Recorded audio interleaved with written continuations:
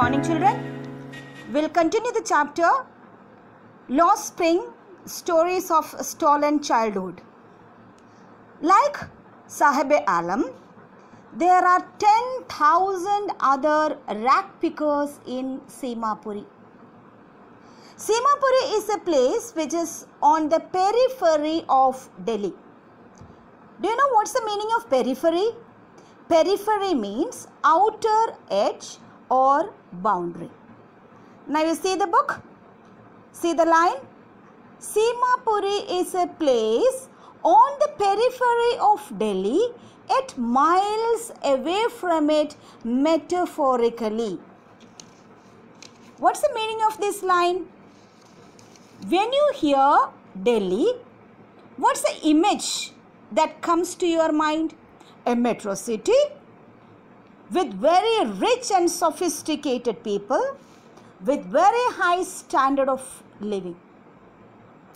Even though Seemapuri is on the outskirts of Delhi, as far as development is concerned, it is miles away from it.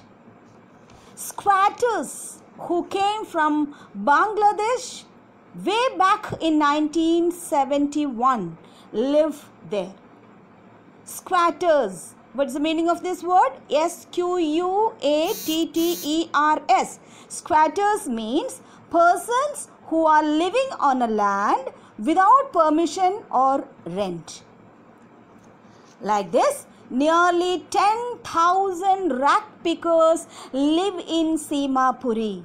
How do they live there? In structures of mud, mud houses, huts with roofs of tin and tarpaulin, without, devoid of sewage or drainage or even running water.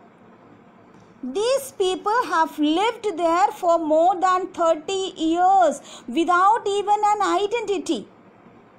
They don't have any identity, but they have ration cards that enable them to buy grains and get their names on voters' lists. See, children, even these poor people are vote banks for the politicians. But it is okay for these people. For them, food it is much more important than an identity. Okay, in Seemapuri, survival means rag picking. For everyone or for all these 10,000 people, they live by rag picking. But for the children, garbage has a meaning different from what it means to their parents. You read the line once again. For the children, garbage has a meaning different from what it means to their parents. What's the meaning of this line?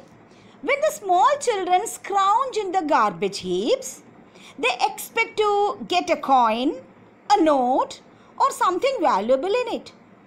Sometimes when they scrounge, when they search for in the garbage, they find a rupee or even a 10 rupee note.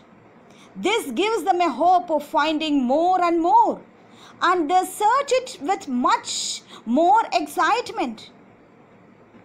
That's why for children garbage is wrapped up in wonder. But for the elders, rag picking means survival. If they have to survive, they need to find, find something valuable from it. Thus, garbage has two different meanings. For the children, the meaning is different, and but for the elders, rag picking means survival. On one occasion, can say one winter morning, the author finds Saheb standing by the fenced gate of a neighborhood club, watching two young men playing tennis. At that time, Saheb was also wearing tennis shoes, but they were too big for him. In fact, they were discarded by some rich boy. Even though he liked to watch the game, he never gets a chance to go inside or play the game. It is, in fact, out of his reach. Now, Saheb has taken up a job at a tea stall. He is paid 800 rupees and all his meals. Now food is no more a problem for him. But his face has lost the carefree look. The steel canister in his hands seems a burden for him. When he was carrying that big sack on his back, he was happy. He was his own master. Now he is no longer his own master. He is not happy with his new job. The first story, that story of Saheb, it's over. We'll discuss the question answers tomorrow. Okay, thank you, children.